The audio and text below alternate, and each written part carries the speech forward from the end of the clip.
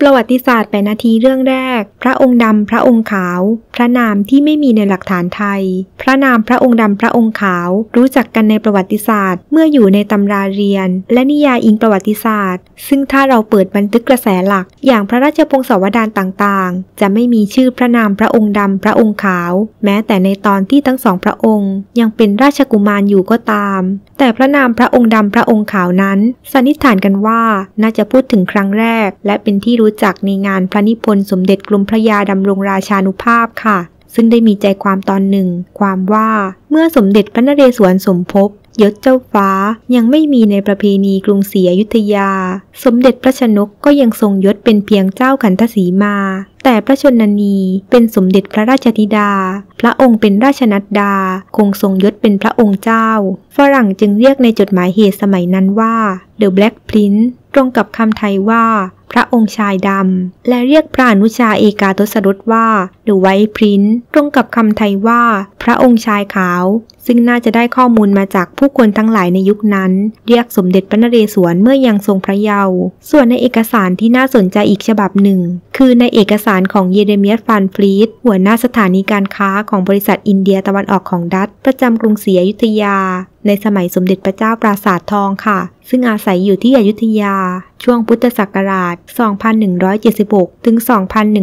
2188 เรียกสมเด็จพระนเรศวรในภาษาดัตว่า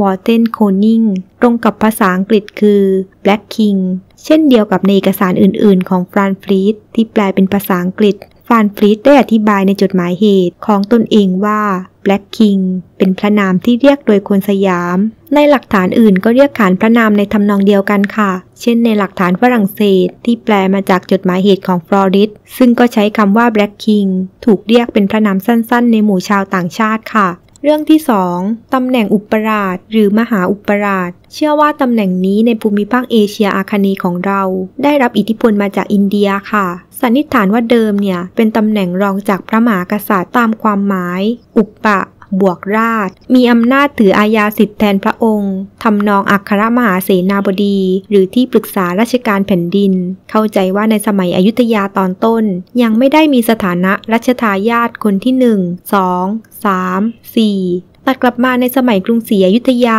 ค่ะ นักประวัติศาสตร์มักแยกตำแหน่งมหาอุปราช ในสมัยอยุธยาออกเป็นสองประเภท ตำแหน่งแรกคือพระมหาอุปราชที่เป็นพระราชวงศ์มีอำนาจรองจากพระมหากษัตริย์ เสวยราชกึ่งหนึ่งในพระนคร ถือศักดินาหนึ่งแสนไร่ เปรียบเสมือนว่าที่รัชทายาทโดยพฤตินัย แต่ในทางปฏิบัติพระมหาอุปราชอาจจะไม่ได้สืบราชสมบัติเสมอไป เพราะการเมืองการปกครองในอยุธยาไม่ค่อยเสถียร เหตุนี้ใครได้ได้รับความเคารพ หรือมีไพร่พลกำลังขุนนางมากกว่า ผู้นั้นจึงจะได้เป็นกษัตริย์ ส่วนอีกตำแหน่งไม่เป็นที่รู้จักมาก นั่นคือเจ้าพระยามหาอุปราช ปรากฏราชทินานามเต็ม ในพระอัยการตำแหน่งนาพลเรือนว่า เจ้าพญามหาอุปราช ชาติวรวงศ์องคพักดี บดินทระสุรินทรเดโชชัย มหายสุริยพักดี แสนอาญาธิราช ถือศักดินาหนึ่งหมื่นไร่ บรรดาศักดิ์อาจเป็นเจ้าพระยา พระยา หรือออกยา แล้วแต่ยุคสมัยค่ะ เป็นอัครมหาเสนาบดีที่เป็นใหญ่ของข้าราชการทั้งปวง มีศักดิ์มีอำนาจมากกว่าเจ้าพระยาจักรี สีองครักษ์ สมวนายก หรืออัครมหาเสนาบดีฝ่ายพลเรือน รวมถึงมีอำนาจมากกว่าเจ้าพระยามหาเสนาบดี สมวพระกลาโหม หรืออัครมหาเสนาบดีฝ่ายทหาร แต่ตำแหน่งเจ้าพระยามหาอุปราชไม่ได้มีการแต่งตั้งขุนนางให้เป็นในทุกราชการนะคะ เนื่องจากอำนาจการคุมไพร่พล และบารมีในตำแหน่งนี้สูง ยิ่งในช่วงตอนปลายอยุทยา ชนชั้นปกครองก็ยิ่งจะไม่แต่งตั้งตำแหน่งใหญ่ ๆ แบบนี้ให้ใครค่ะ มีแต่จะกระจายอำนาจคานอำนาจในหมู่ขุนนางให้มากขึ้นตัดกลับมาที่ตำแหน่งพระมหาอุปราชในสมัยอยุธยา ก็ยังพบร่องรอยหน้าที่ของมหาอุปราชในการเรียกคำสั่งของพระมหากษัตริย์ว่า จึงมีพระราชองค์การ มานะพระบรรทูลสุรสิงหนาถให้ประกาศพระราชองค์การ พระบรรทูลคือคำสั่งของพระมหาอุปราช และใช้เรียกแทนตัวพระมหาอุปราชด้วยค่ะ มักพบคำนี้ในยุคสมเด็จพระเจ้าอยู่หัวท้ายสระที่ทรงแต่งตั้งเจ้าฟ้าเพชรให้เป็นวังหน้า หรือบางสำนวนเรียกอุปราช ส่วนพระอนุชาของพระองค์ เจ้าฟ้าพรนั้นถูกเรียกในบันทึกและในบงศาวดารว่า พระบรรทูลน้อย อันนี้ความหมายได้สองแบบค่ะ คือน้องของพระมหาอุปราช หรือพระมหาอุปราชพระองค์น้องค่ะ อย่างไรก็ดี หลังยุคสมเด็จพระนเรศวรมหาราชไปแล้ว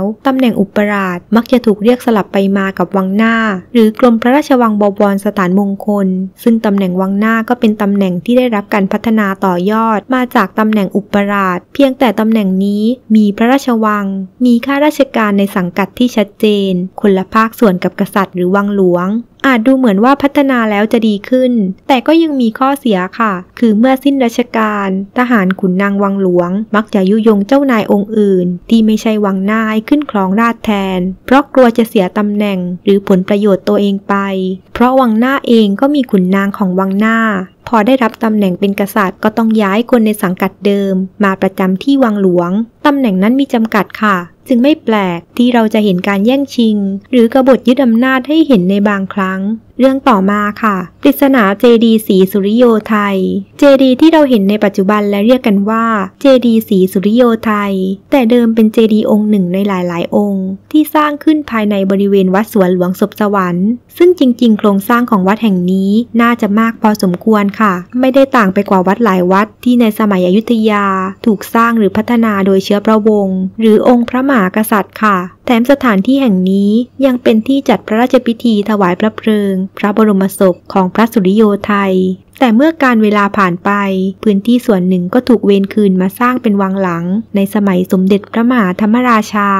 ต่อมาเมื่อมีการปรับพื้นที่บริเวณนี้ เพื่อสร้างเป็นค่ายทหาร ในสมัยรัชกาลที่ 5 แห่งกรุงรัตนโกสินทร์จึงได้มีการไถ่ซากโบราณสถานต่างๆ ทิ้ง จนเหลือแต่เจดีย์องค์นี้เพียงองค์เดียว จากนั้นเมื่อเกิดการรื้อฟื้นประวัติศาสตร์ของพระสุริโยไทยขึ้น ในสมัยรัชกาลที่ 6 เจดีย์ที่เหลืออยู่เพียงองค์เดียวของวัดแห่งนี้ จึงถูกอนุมานให้เป็นเจดีย์ที่ระลึกถึงพระสุริโยไทย ทั้งที่ด้านในของพระเจดีย์องค์นี้ อาจจะไม่มีพระอัฐิของพระสุริโยไทย อัครมเหสีแห่งสมเด็จพระมหาจักรพรรดิก็ได้ค่ะ แต่อย่างไรก็ตาม เรื่องของเจดีย์องค์นี้มีความเป็นมายังไงนั้น ก็ยังเป็นข้อตกเถียงกันอยู่จนถึงยุคปัจจุบันค่ะ เนื่องจากนักวิชาการบางท่านตั้งข้อสงสัยว่าเจดีย์องค์นี้อาจไม่ได้เก่าแก่ถึงสมัยอยุธยา แต่เพิ่งจะสร้างขึ้นในสมัยรัชกาลที่ 6 เพื่อใช้เป็นเพียงอนุสรณ์สถานแก่พระสุริโยไทยก็เป็นได้ วันนี้ก็ขอขอบคุณทุกท่านนะคะ ที่ติดตามและรับชม เราหวังว่าท่านผู้ชมผู้ฟังทุกท่าน จะได้รับข้อมูลทางประวัติศาสตร์ ไปเป็นองค์ความรู้เพิ่มเติม อันจะต่อยอดต่อไปได้ค่ะ สวัสดีค่ะ